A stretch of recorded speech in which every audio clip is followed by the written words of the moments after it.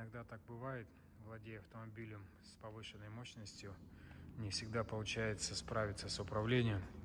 Безусловно, это зависит от опыта, ну и иногда это дело случая. К нам привезли Porsche 911 кабриолет, кузов 911. После ДТП автомобиль из Америки. И, конечно же, это отличная возможность исправить такую небольшую оплошность, которая приводит к повреждениям как минимум всей передней части. Это поврежденные крылья, у нас поврежденный радиатор, небольшие повреждения усиленной передней части, но они очень небольшие. Соответственно, разбит передний бампер, его здесь нет разбито также и второе крыло, ну и, соответственно, все фары.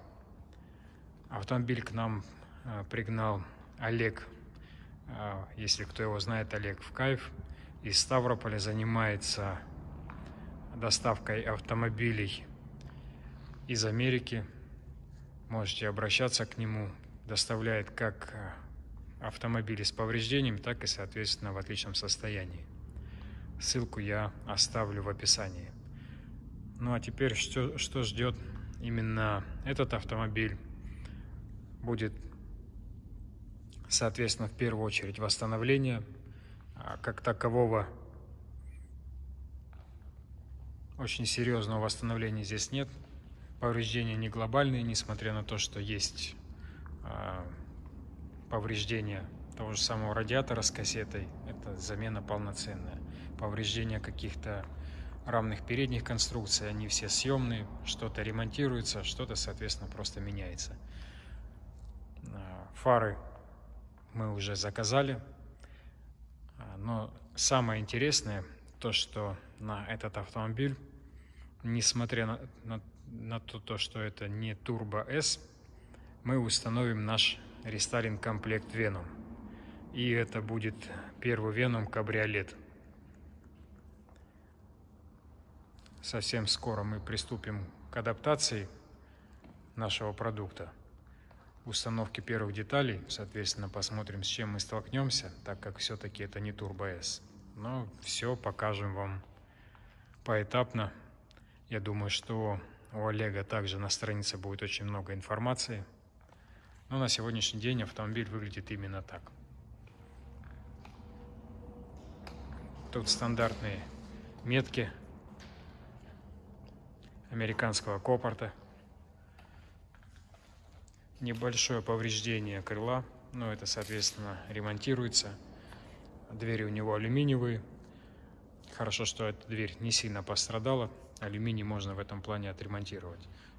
Ну а крылья металлические, то есть с ремонтом металлических крыльев никаких проблем вообще не будет. Так выглядит у него задняя часть.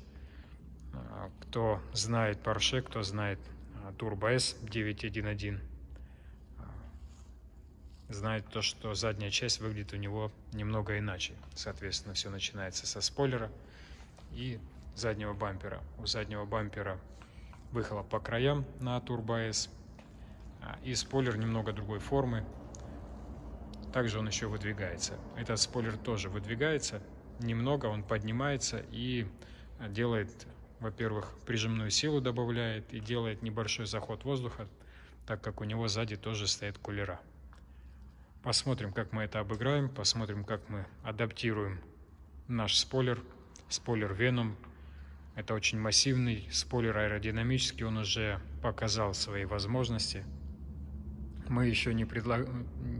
не оговаривали это, а не придавали огласки но автомобиль, на котором мы установили наш комплект Porsche Venom, то есть Porsche Turbo S, после этого показал очень хорошие, очень стабильные аэродинамические показатели. То есть э, он себя на дороге очень стабильно вел. Но это пока что слова. Мы в любом случае э, придем к тому, чтобы доказать это все в специальной программе изначально, но, соответственно, потом в аэродинамической трубе.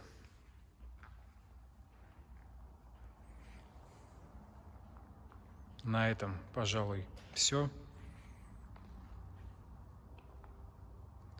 Следующим этапом будет уже, соответственно, какая-то конструктивная работа и начало преображения.